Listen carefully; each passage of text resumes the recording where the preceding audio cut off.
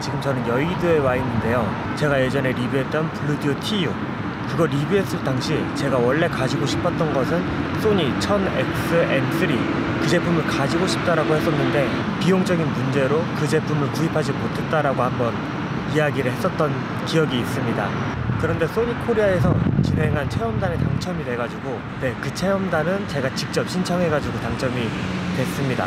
그 체험단을 통해서 1000X M3를 사용해 볼 수 있는 네, 기회가 생겼습니다. 그래서 대략적인 제품 설명과 그 제품을 수령하기 위해서 소니 코리아에 방문할 예정입니다. 저는 기존의 에어팟과 QCY T1 그 제품을 만족하고 있었기 때문에 1000X M3 그 제품이 어떤지 저랑 비슷한 관점으로 한번 봐주시면 괜찮을 것 같습니다. 그래서 제 기준으로 사용하면 서 어떤 느낌인지 리뷰를 한번 진행해 보려고 해요. 특히나 noise canceling을 일렉트로마트에 놀러 갔을 때 잠깐 경험을 하면서 충격을 좀 받았었는데 이번에 실제로 일상생활에서 사용을 했을 때 어떨지 기대가 되고 있습니다.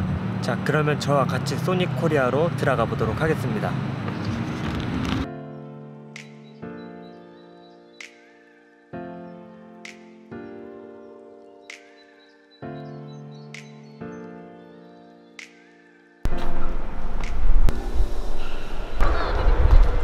아, 네. 안녕하세요. 네네네네네.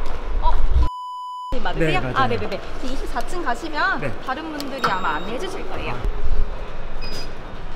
네, 저는 7시까지 오라고 했는데 그 시간에 딱 맞춰서 진행이 되는 것 같아요.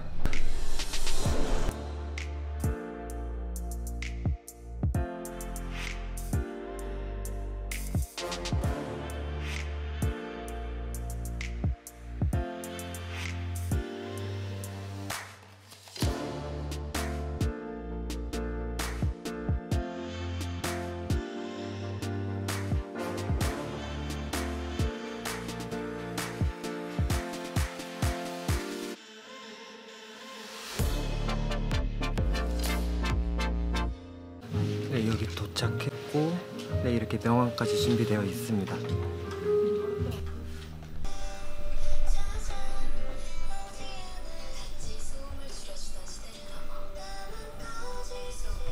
저희가 요번에 체험단의 주제는 몰입의 즐거움입니다. 원래 저희가 카메라도 체험단을 많이 하고 하지만 사실 저는 개인적으로 그 요번에 컨셉에 대해서 어떻게 생각하셨는지가 사실은 좀 궁금했습니다. 어, 그 어색하지 않으셨는지 왜냐하면은 그 음악 감상, 뭐 음질 뭐 이런 것들로 원래 저희가 전통적인 방식으로 커뮤니케이션 하다가 몰입 이런 단어를 저희가 한번 써봤거든요. 그 지금 출퇴근하는데 한 1시간 정도 지하철 타고 다니거든요. 그래서 사용상의 어떤 기능들을 표현하는 거면은 제가 할 수 있을 것 같아서 소니 블루투스 이 헤드폰이 워낙에 noise canceling이 좋기로 또 유명하고 그래서 이번 컨셉은 말씀하신 것처럼 몰입이라는 컨셉이 있어서 다른 기존의 소니 헤드폰하고는 또 어떤 게 다르고? 친구 거 빌려서 써보다가 좀 반해가지고. 그냥 애들 때문에 조용히 혼자 있고 싶다는. 유튜브 영상 제작하면서 터넥스 마크 3 써봤었는데 엄청 좋은 거예요. 리뷰하면서도 정말 극찬했었고. 글을 쓰다 보니까 정말 소음 안 듣고 집중하고 싶을 때가 많았고. 저는 좀 예민한 성격 때문에 밤에 이제 잠에 들려고 할 때 시계 소리가 나도 잠에 솔직히 잘 못 드는 스타일이에요. 말을 한 반이 시작하면 너무 시끄러운 거예요. 그래가지고 일단 거기서 한번 이걸 한번 써볼까. 제가 말하는 톤이 한 50데시벨 정도라고 해요. 그런데 그 수면 방해 아까 비행기 많이 타시는 분 수면 방해는 한 60데시벨 이상. 근데 공부나 이런 데 집중력 방해하면 70데시벨 이상이 되고요. 그리고 85데시벨 이상이 되면 청력 손상이 시작된다고 합니다. 공식적으로 noise canceling 이어폰 헤드폰을 사용을 굉장히 권장을 하고 있는 것도 보실 수 있고 그 이유는 소음을 막아줌으로써 그 낮은 볼륨의 음악이나 뭐 요즘 게임도 하고 하잖아요. 드라마도 보고 이런 것들을 즐길 수 있다는 부분이 있습니다. 보시면 100달러 이상 제품군의 전 세계 noise canceling 헤드폰 사용률입니다. 상위에 있는 국가들을 보면 전체 헤드폰 100달러 이상의 noise canceling 탑재된 구매율이 노르웨이, 스웨덴, 또 네덜란드, 프랑스, 영국, 독일은 거의 50% 육박하는 걸 보실 수 있는 반면에 안타깝게도 우리나라는 7%밖에 되지 않는다는 점이죠. 유럽은 그 100데시벨이라는 그런 규제가 있어요. 그래서 소음이 굉장히 넘으면 제품에도 소음이 한 일정에서 넘으면 안 되게끔 다 설계가 되어 있고요. 우리나라 제품도 상당히 많이 그런데 관심 갖고 있어서 아시다시피 볼륨을 막 눌렀을 때 그 알람이 뜨잖아요. 더 이상 뭐 위험할 수 있습니다. 이런 것들이 그 유럽에서 굉장히 먼저 그 국가 국민의 귀 안전에 대해서 신경을 많이 썼고 그런 의식 때문인지 몰라도 noise canceling에 대한 구매도 높다라는 거 보실 수 있습니다.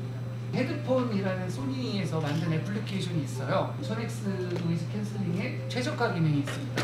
이런 부분도 굉장히 많이 활용해서 적극적으로 하면 좋을 것 같아요. 사람의 이 귀 형상이라든가 이 안경 이런 것 때문에 착용에 있어서 약간의 유격이 발생할 수 있거든요. 그런 부분을 통해서 기술적으로 좀 최적화할 수 있는 그런 뭐 밖에서 자동으로 소음이 있을 때 줄여주고 자동으로 켜지고 여러 가지 기능이 있어서 굉장히 이번 기회를 통해서 다시 한번 추천을 해드립니다.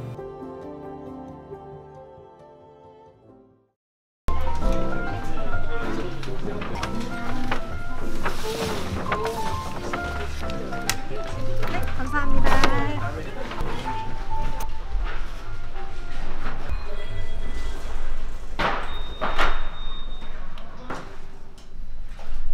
와서 제품 이렇게 받았습니다. 이거에 관해서 한번 이야기 나눠보도록 하고 리뷰 작성해 보도록 하겠습니다.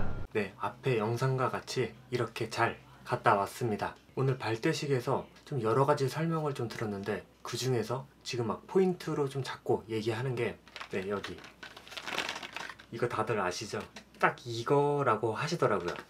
여기 보면 네, 청력 보호 그리고 정신 집중 이 1000X M3 이거 지향하는 게 좀 더 몰입하고 그 다음에 청력을 막 볼륨을 너무 키우기보다는 적당한 볼륨에서 주변 소음을 억제해주고 좀 더 내가 하려는 행동에 좀 집중할 수 있는 그런 주제로 이렇게 체험단을 진행했다고 합니다. 그래서 되게 웃겼던 게 대부분의 이제 체험단을 진행하시는 분들이 어, 다 내가 될 줄 몰랐다고 네, 그런 말씀을 다 하셨는데 막 주된 내용이 막 유명한 사람 아니면 엄청 큰 인플루언서보다는 이 제품이 정말 필요하고 일상생활에서 잘 사용할 수 있는 그런 분들로 진행된다고 합니다. 그래서 거기에서 여러 가지 이야기를 들었는데 제가 몰랐던 부분들이 생각보다 많이 있더라고요. 그래서 이번에 리뷰를 좀 진행하면서 많은 내용들을 알려드릴 수 있을 것 같아요. 자, 그럼 마무리 하기 전에 어차피 제품 언박싱에 관해서는 자세하기보다는 이거에 대한 사용성을 더 말해주면 될 것 같아서 지금 바로 깔끔하게 한번 제품 한번 뜯어볼게요.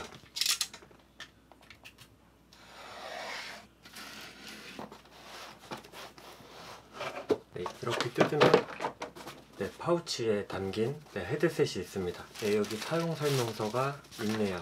이거 같은 경우는 이거를 컨트롤 할 수 있는 앱이 따로 있어 가지고 앱에 관해서도 한번 리뷰하는 시간을 가져볼 것 같습니다. 이제 헤드셋을 보게 되면 이렇게 들어있고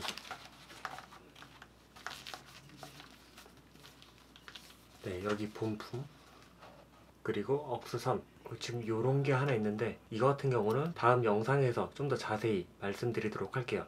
제가 지금 이거 처음 봐가지고 뭔지 잘 모르겠어요. 그리고 이거는 네, 타입C로 되어 있는 충전 선으로 보여집니다. 파우치 같은 경우는 네, 약간 천재질? 천재질 느낌의 여기 망사 주머니가 있어가지고 뭐 여러 가지 여기다 담고 다닐 수 있을 것 같습니다.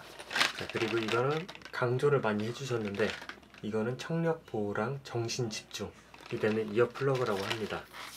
네, 플라스틱 케이스도 있습니다. 그래서 이 ear plug로 네, noise canceling이 지원하는 고급 ear plug고요. 평소에 안 쓸 때는 이렇게 안전하게 ear plug 케이스에 넣어 다닐 수가 있습니다. 이것도 비싼 제품이기 때문에 제가 1000X M3랑 한번 비교 영상 만들어 보도록 하겠습니다.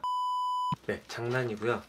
제가 예전부터 좀 가지고 싶었던 그리고 꼭 리뷰 한번 해보고 싶었던 제가 이 제품을 막 유튜브를 본격적으로 막 하기 전에 알았던 제품이다 보니까 리뷰 컨텐츠를 막상 시작하고 나서는 기회가 좀 없었던 것 같아요. 그런데 이렇게 이번 기회를 통해서 한번 여러분들의 궁금증을 풀어드리고 제가 궁금했던 부분들 그런 부분들을 같이 리뷰해 보도록 하겠습니다. 혹시 이걸 관련해서 좀 뭐 비교를 해달라던가 아니면 좀 궁금했던 사항들이 있으면 밑에 댓글에다가 언제든지 편하게 남겨주시면 제가 영상 만들기 전에 그거 포함해서 리뷰 영상을 만들도록 하겠습니다. 오늘 밖에서 막 들고 다니면서 촬영하다 보니까 좀 많이 부끄러웠더라고요. 그래서 제가 전하고 싶은 말들을 제대로 못 전했는데 앞으로 다음 영상들에서는 제가 전하고 싶은 내용들 좀 정리해서 여러분들께 잘 전달해 드리도록 하겠습니다.